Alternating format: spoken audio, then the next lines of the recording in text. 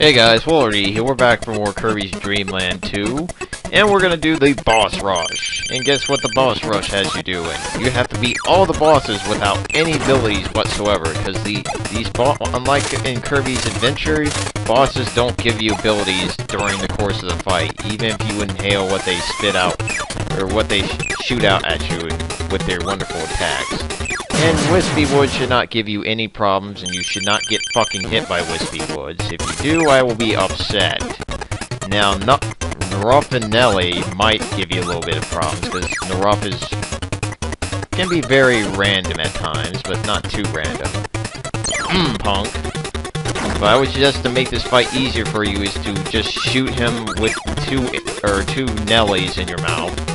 That just sounds weird ask me why. Come on, buddy. Doot, doot, doot, doot, doot, doot. But yeah, focus more on not doing these fights quickly. Just focus more on just doing them correctly and with good proficiency. If you don't, it's gonna make it very hard for future bosses, because you know the later bosses are only gonna be much, much fucking harder. Shit, you little fucker. Damn it. I didn't need that hit. And this guy without Kine is very fucking annoying, because you're gonna have to do this logic of shooting stars back at him with your little bubbles. It's really annoying. Definitely makes this fight a lot harder. This is where the game starts to get tricky with the fights. Oh shit. And it just has to be those stars, because you can't shoot these guys back out, which is a pain in the ass. It's just the stars they're very slow in making their moves. Punk. But as you can see, they do pretty good damage. Two bars a hit.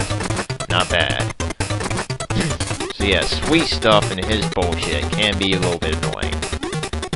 Come on, sweet stuff. You and your spastastic looking face of yours. Mmm, punk. Come on, come on, get... Alright, so that takes care of that. Of course, once you get down to a certain point, he starts getting even worse. Alright, oh, great, now they're throwing Gordos at me. Shit, fuck. Asshole, damn it. Fucking Gordo. so yeah, oh shit. Oh crap, don't be trying that shit. Oh. Yeah, as you can see, Sweet Stuff is very, very aggressive when he's almost dead. But not too bad. I mean, I've seen much more aggression from other bosses. And you're dead, fucker.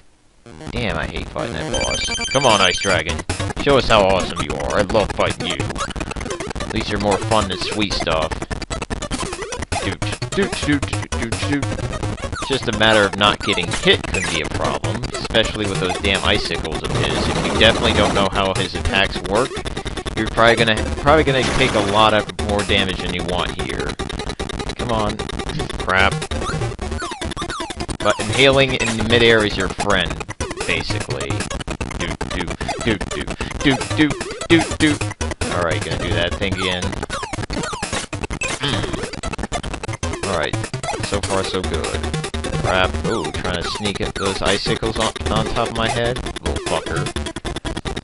So yeah, if you spend most of your time in the air, he's gonna do that attack quite a damn bit because he's just trying to like get the nice little surprise on you. If you're on the ground a lot, you might do this a lot. He also might do that nice little stalagmite attack. He shoots at that stalagmite. And you're dead, buddy. Oh great, now I have to fight my least favorite bosses. These assholes. I really hate fighting these two, because the attacks they have are just that plain difficult to deal with. Fuck, get away from me. Doot doot doot doot doot doot. Oh boy. Come on, little fucker, get over here. Oh crap. Mm. Yeah, there we go. And of course, they're ever so lovable. Solar Eclipse attack! Fuck. Hate that attack. It's just the fact that if you... Oh crap. Damn it. And I would not suggest flying during these bosses, or during this boss fight in particular, because if you happen to get hit, or if you happen to fly into those stars that Mr. Bright shove or shoots around, oh crap. Oh fucker. Damn it. Yeah, these guys this these two guys are gonna be the bane of your existence in boss rush mode, because these guys are a are much, much harder than they were back in the uh, Kirby's Adventure. I mean, this Solar Eclipse attacks makes it really hard to bear with them. Come on. And of course, they have their ever-lovable, um, own attacks. You know what? This is for you. Fuck you. And they're dead. Thank goodness. Now we have to deal with Kracko, and of course Kracko's long health bar is going to make this fight a little bit trickier to deal with. Come on, little asshole. Do your little theme saber attack. Do, do, do. Nice thing about the final boss, though, guys, is that there is a Pep Brew before you fight DDD, which will be very helpful. And of course, the sword, you know how the sword also heals yourself completely, so that's gonna make for the, that's gonna make that boss easier to handle. Okay, where are you coming out of? Mm, punk. Get out of that damn cloud. Come out here and fight with me like a man, little asshole. Shit. Oh crap.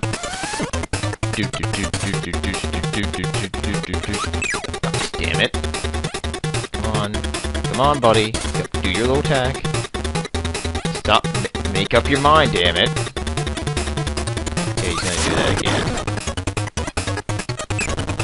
And we're gonna get you out of that damn cloud. And of course, make sure to dodge Kracko while he's rolling, because that does, you can take damage from that. Alright, so far so good.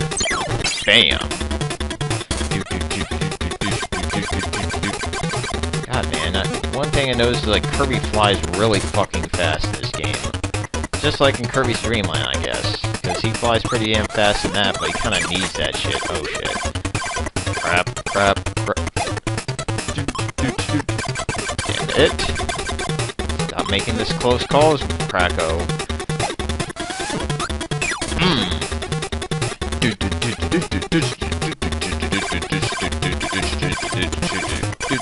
Shit.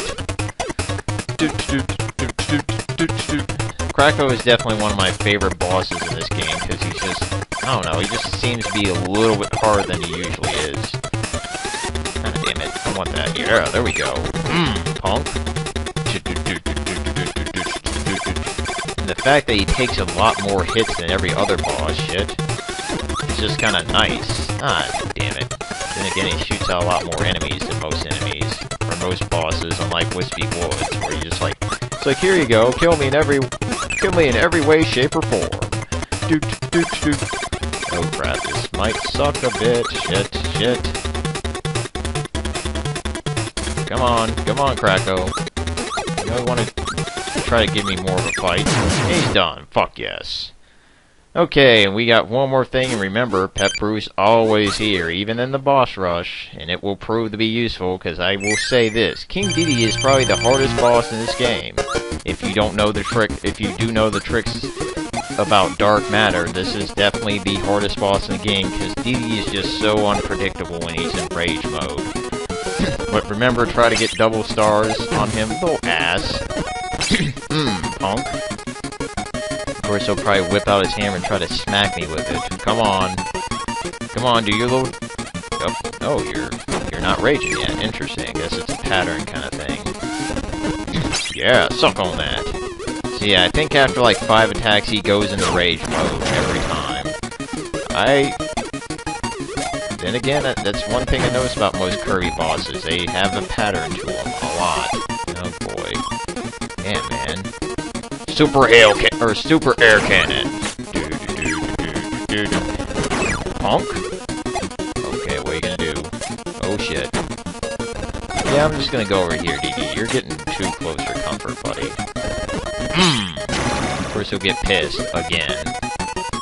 Crap. Ah shit. Not good. Not good. Damn, man. Come on. Oh, damn. See, DDD almost fucking ruined that. Shit. And I think once you get the sword, you will get all your life back again, possibly. Possibly. I'm not too certain on that. I kind of hope so, because I do need at least some sort of compensation for the final boss. Well, I say he is easier than DDD. He can fuck, thank goodness. Okay, gonna fuck up the final boss now. Come on, let's go, Dark Matter, you and your easy ass self. You disappoint all the other Dark Matters in the world. Okay, let's go. I do like the fact that he, decides to take on a human form. That's what makes it dark. Oh, dick. How, how did you hit me, little fucker? Alright. okay, that didn't hit you. What the hell? Game's like saying, you nope, you have to do this shit a hard way. Fuck. Mmm, punk. Yeah, suck on that. Alright, so it looks like Dark Matter's not giving me too much of a fight now. I guess he was just had some bad luck with those first few hits.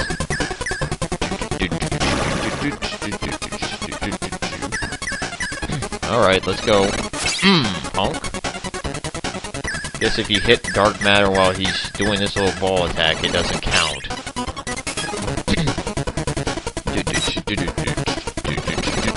and you're dead. And now we have to deal with the true form of Dark Matter. Alright, so far so good. Hmm. So yeah, if you just do this, guys, you have this pretty much pegged. It's kind of depressing that this is probably one of the easier boss rushes in Kirby games once you know all the tricks that this game does or throws out at you.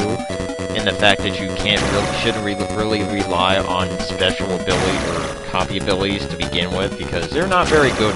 They're not great in this game. I mean, Parasol is pretty nice.